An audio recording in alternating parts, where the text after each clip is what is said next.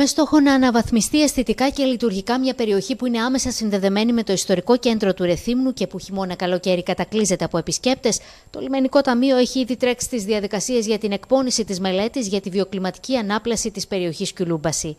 Οι αλλαγές θα επικεντρωθούν στο τμήμα από την είσοδο της Φορτέτζα από την πλευρά του περιφερειακού έως και το εμπορικό λιμάνι, ενώ με βάση τα έργα βιοκλιματικής ανάπλασης προβλέπονται μεταξύ άλλων παρεμβάσεις για τη βελτίωση της κυκλοφορίας των οχημάτων, της στάθμευσης, για τις ανάγκες του περιπάτου, αλλά και για την ασφαλή μετακίνηση των ατόμων με αναπηρία. Θα έχει ε, πεζοδρόμια, θα έχει οδεύσεις τυφλών, θα έχει τοποθέτηση αισθητήρων και ηλεκτρονικών μέσων όπου θα αναγράφεται η ταχύτητα τόσο των φορτηγών όσο και των διερχόμενων αυτοκινήτων έτσι ώστε να μην συμβαίνουν ατυχήματα και να μην υπάρχει η γορύπανση αυτή που παρατηρείται. Κάποιες από τις αλλαγές που σχεδιάζονται αφορούν και στα καταστήματα εστίασης της περιοχής, τα οποία θα κληθούν να αλλάξουν τα σκιάδια τους με περισσότερο ανθεκτικά στις καιρικές συνθήκες υλικά, τα οποία παράλληλα θα εξασφαλίζουν και την αισθητική αναβάθμιση της περιοχής. Τα υλικά όπου θα επιλεγούν να είναι ε, ανθεκτικά στις καιρικές συνθήκες και στα φαινόμενα, να μην προσβάλλουν το χώρο και παράλληλα να απορροφούν το θόρυβο και να είναι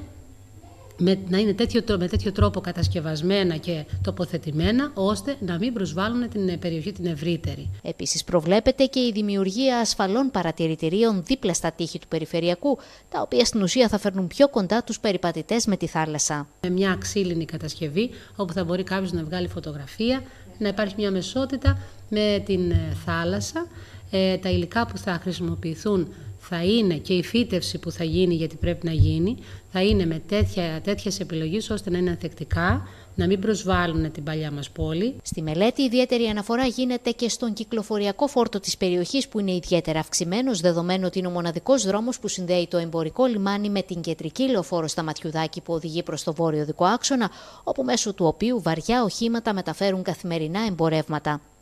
Με την ολοκλήρωση της μελέτης προϋπολογισμού 246.000 ευρώ θα ακολουθήσει δημόσια διαβούλευση ώστε το έργο να πάρει το πράσινο φως των τοπικών φορέων για την κατασκευή του.